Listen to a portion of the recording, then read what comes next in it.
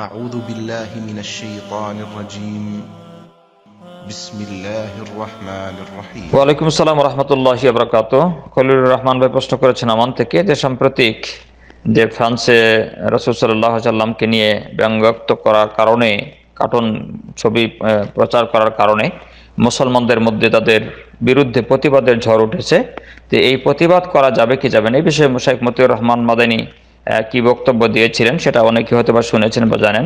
যে ইনি বলেছেন যে জাতীয় প্রতিবাদ আসলে করা যাবে না, কারণ কাফেরদের বা আল্লাহ রাসুলকে নিয়ে যারা কটূক্তি করবে তাদেরকে শাস্তি আল্লাহ পাক দিবেন। তবে আমাদের কর্তব্য হলো যারা রসুলের, রসুল সাল্লাহ আলাইসাল্লামের শত্রু, তারা আল্লাহর শত্রু, তারা মোমিনদের শত্রু এবং মুসলিমদের শত্রু। চিরোত্তরের শত্রু। তারা আজকে ব্যঙ্গক্ত করার কারণে শত্রু নয়, তারা যতদিন পর্যন্ত মুসলিম না হবে তৌবা করে বা কালেমা পড়ে মুসলিম না হবে, ততক্ষণ পর্যন্ত তারা আমাদের শত্রু। ব্যঙ্গক্ত করার পূর্বেও তারা আমাদের শত্রু। ব্যঙ্গক্ত করা থেকে যদি ফিরে আসে মুসলমানদের কাছে ক্ষমা প্রার্থনা করে, তারপরেও কিন্তু তারা আমাদের শত্রু থাকবে। তারা কখনোই আমাদের আমাদের বন্ধু হবে না। কাফেররা কখনো আমাদের বন্ধু হয় না, হবেও না। যতক্ষণ তারা মুসলিম না হবে, ইসলাম কবুল না করবে। সুতরাং বর্তমানে তারা রাসুল সাল্লাহ সাল্লামকে নিয়ে কটূক্তি করার কারণে মুসলমানদের হৃদয়ে তারা আঘাত করেছে। মুসলমানদের হৃদয়ে রক্তক্ষরণ করে হয়েছে, আগুন জ্বালিয়ে দিয়েছে জন্য মুসলমানরা অবশ্যই তাদেরকে নিন্দা করবে, ঘৃণা করবে, তাদের প্রতিবাদ করবে। তবে প্রতিবাদের যেটা ভাষা, সেটা এইভাবে নয় যেভাবে আমরা করছি। তা আমাদের প্রতিবাদের ভাষা আমরা যতটুকু দেখতে পাই বা লক্ষ্য করি, এখানে আমাদেরও কিছু ত্রুটি আছে। যেমন আমাদের তাদের, আমরা তাদের কিছু পণ্য সামগ্রী ক্রয় করেছি, এখন সেটা জ্বালিয়ে দিচ্ছি।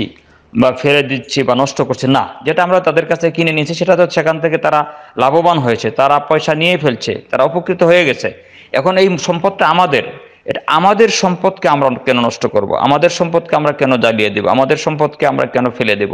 এটা তো আমাদের, আমি একটা জিনিস একজনের কাছে কিনে নিলাম, সেটার মালিকানা আমি হয়ে গেলাম, এটার মালিক এখন আমি।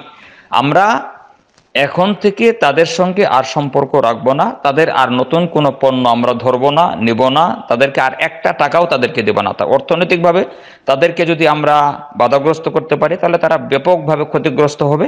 তো এই বিষয়গুলো আমাদের চিন্তায় আলোকে আনতে হবে।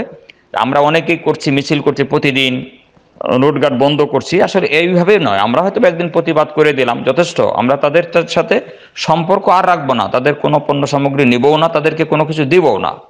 এইভাবে করতে পারি। কিন্তু প্রতিদিন যদি আমরা এইভাবে করতে থাকি, আমাদের অন্য কর্মকাণ্ডকে ব্যাঘাত সৃষ্টি করে, অন্যদের কাজকর্মকে ব্যাঘাত সৃষ্টি করে, রুটঘাট বন্ধ করে দিয়ে গাড়ি গুড়ি যদি জ্বালিয়ে এইভাবে কিছু করি, তাহলে আমরা নিজেরা নিজেদের ক্ষতি করলাম। না।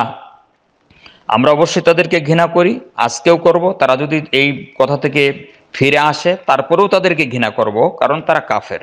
কাফেরদের সঙ্গে বন্ধুত্ব হবে না, এবং তারা মৃত্যুবরণ করে আল্লাহ তাদের শাস্তি দেবে। তবে আমাদের মুসলমানদের তাদেরকে ঘৃণা করার মতো অধিকার আমাদের আছে, আমরা অবশ্যই তাদেরকে ঘৃণা করব। কিন্তু যে ভাষায় ঘৃণা করছি, যেভাবে প্রতিবাদ করছি, এই প্রতিবাদের মধ্যে আমাদের কিছুটা বাড়াবাড়ি, অতিরিক্ততা আছে বা অতিরঞ্জিত কর- হচ্ছে, এগুলি আসলে সঠিক নয়। এইভাবে আমরা প্রতিবাদ করব না। এখন থেকে তাদের সাথে সম্পর্ক ছিন্ন টোটালি তাদের পণ্য সামগ্রী এখন ধরবো না, কিন্তু আমরা যেটা আগে কিনেছি বা তাদের কাছ থেকে নিয়েছি, সেটা আমরা ক্ষতি করব কেন? সেটা আমাদের সম্পদ এখন। এখান থেকে তারা উপকৃত হয়েছে, এখান থেকে তারা টাকা নিয়েছে। এখন যদি সেটা নষ্ট করি, তাহলে আমি আমার টাকা নষ্ট করলাম, আমার সম্পদ ধ্বংস করলাম। তো এটার হিসাব কিন্তু কে দিবে? এটা হিসাব আমাকে দিতে হবে।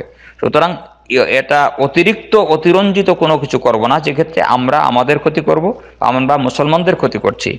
তারা তাদেরকে আমরা ঘৃণা করব, তওবা করলে বা এই কথা থেকে যারা যদি মাপও চায়, তাও আমরা তাদেরকে ঘৃণা করতে থাকব। সুতরাং আমাদের যে বিষয়গুলো লক্ষণীয় সেটা হলো আমরা আমাদের নিজেদের যাতে ক্ষতি না হয়, সেগুলি লক্ষ্য রেখে আমরা কাফেরদের সঙ্গে বন্ধুত্ব রাখব না, তাদের সঙ্গে সম্পর্ক আজীবনের জন্য ছিন্ন থাকবে। ওসল্লাহ নবীন মাহমদ